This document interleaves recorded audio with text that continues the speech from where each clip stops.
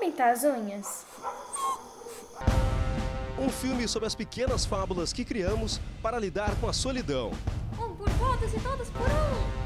No Curta TV desta semana, nossa sessão de cinema é com o filme Diminutivos. A gente conseguiu inserir diversos tipos de gênero que a gente acha interessantes.